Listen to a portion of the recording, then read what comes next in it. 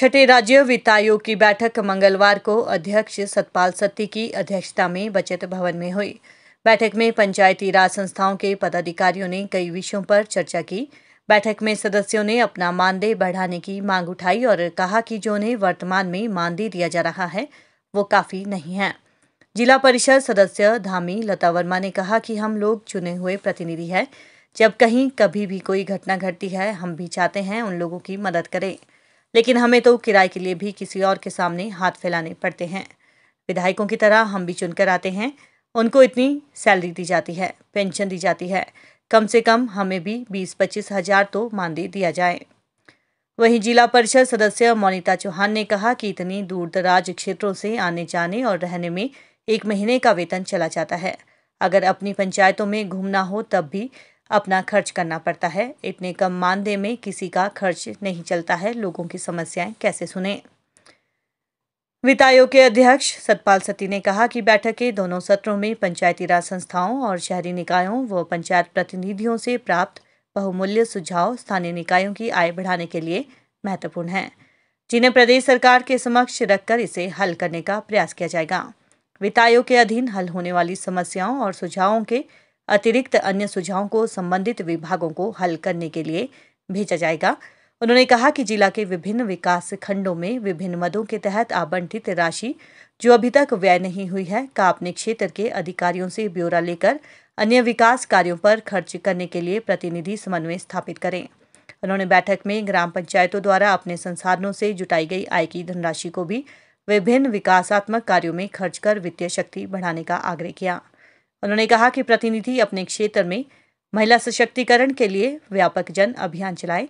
उन्होंने बताया कि मानदेय बढ़ाने का विषय भी सरकार के समक्ष रखा जाएगा। है, जैसे मैंने अभी बैठक में भी कहा है कि जो हमारा ऑनरेरियम है, जो एक मानदेय, एक सम्मान मिलता है, जो पंचायती राज संस्था को, वो बिल्कुल ना के बराबर है। आप लोगों ने देखा होगा, जब हमारा चौथे संविधान में संशोधन किया किया गया था, उसमें जो पंचायत, संविधानिक शक्तियाँ जो पंचायत को दी गई थी उस समय भी पंचायती राज अगर संस्था को हम लोगों ने मज़बूत करना है तो हम लोगों को ग्रास रूट पर हमारे जो जितने भी चुने हुए प्रतिनिधि हैं, उनको सम्मान पूर्वक जो है मानदेय मिलना चाहिए। आप लोग जानते हैं, हम ग्रामीण क्षेत्रों में रहते हैं। ग्रामीण क्षेत्रों में चाहे वो पंचायत पर प्रधान है, चाहे वो बीडीसी मेंबर है, चाहे वो जिला परिषद मेंबर है। आप जानते हैं, जब हमने कहीं जाकर गाँव में दौरा करना है, अगर कहीं अनहोनी होती है या कोई ऐसी घटना घटती है, जहाँ पर तुरंत जो है पंचायत प्रधान बीडीसी या जिला परिषद को बुलाया जाता है। सरकार तो बाद में आती है, लेकिन वहाँ जो चुने हुए प्रतिनिधि को पहले बुलाया जाता है। अगर हमारे पास सम्मान पूर्वक अगर हमारे पास जो ऑनरेरियम है, जो वेतन है, मिलता है, ताकि हम वहाँ जाकर फौरी राहत अपने जेब से भी जो है, अपने लोगों को दे सके।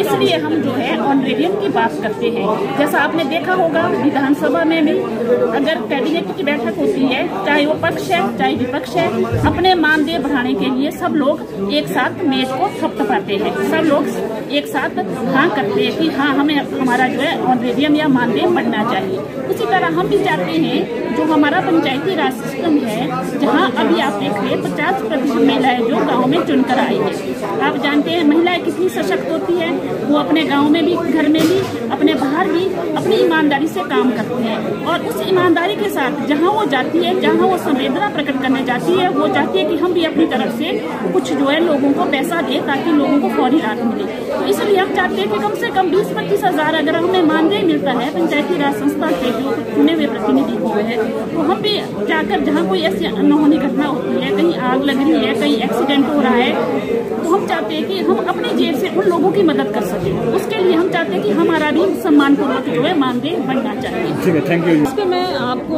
देखो कहना चाहूँगी आप खुद आज की बढ़ती हुई जो क्या नाम महँगाई है उसको लेकर आप खुद भी परिचित हैं कि क्योंकि जैसे मैं अपनी बात करूँगी मैं डोडाकुमार वाले क्षेत्र से आती हूँ तो अगर मुझे शिमला तक पहुँचना है तो हमारा मानदेय पाँच हज़ार है। तो पाँच हज़ार में आप खुद आइडिया लगा सकते हैं कि मुझे शिमला आना भी है रहना भी है और स्ट्रीम जाना भी है। तो आप मुझे आप मुझे ये बता दें कि क्या पाँच हज़ार में ये सब कुछ हो सकता है? तो हमारी में ये अगर जिला परिषद की मानदेय बढ़ाया जाए तो शायद हमें भी थोड़ी राहत मिलेगी, क्योंकि हमारे पास एक पंचायत में बीस पंचायतों में हमें जाना होता है और मीटिंग्स के लिए शिमला भी आना होता है तो हमें, हमारा जो मानदेय बहुत कम है। तो हमारी सरकार से ये प्रार्थना है कि हमारा मानदेय बढ़ाया जाए। सिस्टम है जिला परिषद, ब्लॉक डेवलपमेंट कमेटी और उनके सदस्यों से, उनके चेयरमैन से मिलकर के कुछ फीडबैक ले रहा हूँ उसी नाते आज ये मेरा चौथा जिला था पहले चंबा है, वो शिमला जिला रहा है। तो जहाँ आज सुबह हमारा जिला परिषद के सदस्य है और उनके साथ साथ ब्लॉक डेवलपमेंट कमेटी जो हमारी बारह है शिमला जिला में, उनके चेयरमैन वाइस चेयरमैन बुलाए थे। उन लोगों से चर्चा कर रहे हैं कि उन लोगों की व्यक्तिगत क्या प्रॉब्लम्स हैं? और व्यक्तिगत के साथ साथ उनको जिस पद के ऊपर वो बैठे हुए हैं, उन पदों में पोस्ट के उनकी क्या इच्छा है? सरकार से क्या अपेक्षा है?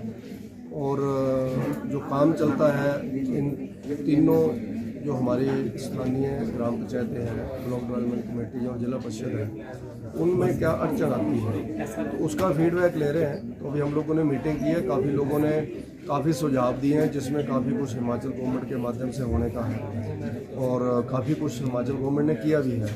और मुझे जितना भी फीडबैक मिला है, वो काफ़ी अच्छा फीडबैक पूरे हिमाचल से मिल रहा है। हिमाचल के जितने भी चुने हुए प्रतिनिधि आए हैं, वो बड़े, यानी ज़मीन से जुड़े हुए लोग हैं और जो ज़मीन से जुड़ी हुई समस्याएँ हैं, वो वो ही बता सकते हैं। तो उसके नाते उन्हें अपने एरियो की, चाहे सड़कों की प्रॉब्लम्स हो, चाहे छोटे रास्तों की प्रॉब्लम्स हो या स्कूलों और हेल्थ सिस्टम जो है, उसकी कुछ दिक्कतें हैं जो लंबे समय से चल रही हैं। और उसके साथ साथ कुछ स्टाफ की प्रॉब्लम स्टाफ कम है।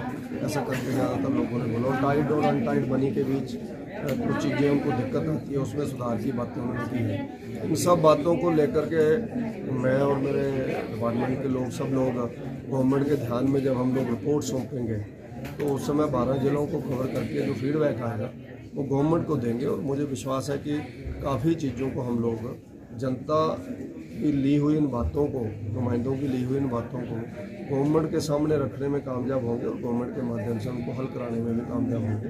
काफ़ी चीज़ें गवर्नमेंट्स ने की भी हैं। हर गवर्नमेंट ने कोशिश की है कि स्थानीय जो पंचायतें हैं, नगर निकाय हैं या नगर परिषदें हैं, या नगर पंचायतें हैं जब ब्लॉक डेवलपमेंट कमेटी या जिला परिषद है, वो मज़बूत हो। क्योंकि जब जनता से बिल्कुल पहले पायदान के ऊपर लोकतंत्र के जो बैठे हैं, वो यही लोग हैं। तो लोकतंत्र तभी मज़बूत होगा जब इनके माध्यम से काम चलेगा और ये मज़बूत होगा। लेकिन फिर भी बहुत सी बातें रह जाती हैं, जो अभी भी हैं, उन बातों को आने वाले समय में कोशिश करेंगे।